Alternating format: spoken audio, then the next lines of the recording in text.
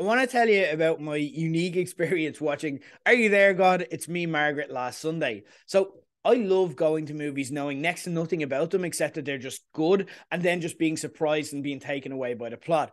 This was one of those times. The only thing here was that as the screening filled up, I noticed a couple of different things. One, I was the only man there, and two, I was getting a few strange looks, and not the hey, is that the guy from that really cool movie and TV podcast kind of looks? It's the what are you doing here, man? Kind.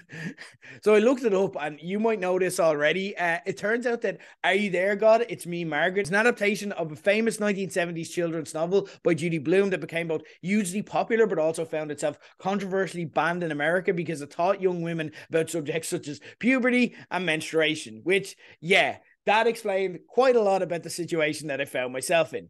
But look, I was there already, and the subject matter wasn't going to put me off watching it as well. So I took it as an opportunity to learn and grow as a person. And here are some takeaways and learnings that I got from my experience at Are You There, God? It's me, Margaret, about what young women go through during a very important stage of their lives. One, Preteen girls sometimes practice kissing on their bedpost. Two, girls buying tampons for the first time is an awful lot like boys buying condoms, and that you want someone of the same gender in the same way lads want to give other lads the the nod. You know, the nod when you buy condoms for the first time that tells them, "Yeah, bro, I'm planning to use these." Which, in hindsight, would be pretty worrying if an adult was like, "Nice, bro," uh, to a kid buying condoms. But hey, teens are stupid and they don't see these things. Three, apparently, girls who develop earlier get bullied because the others are jealous. That's just mean. Uh, what are you at, girls? Like, cop on. Four, girls lie about getting their periods earlier. They do, just like lads lie about get, kissing a girl on holidays. Five, even though they're excruciating to experience, there's a pressure and a feeling that girls have. And again,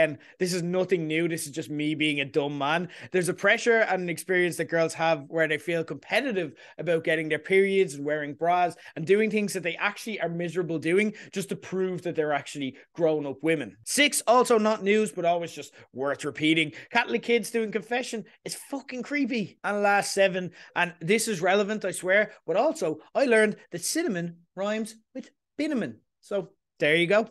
The more you know. Yeah, I think I'm uh I think I'm still a bit of a dumb man to be honest.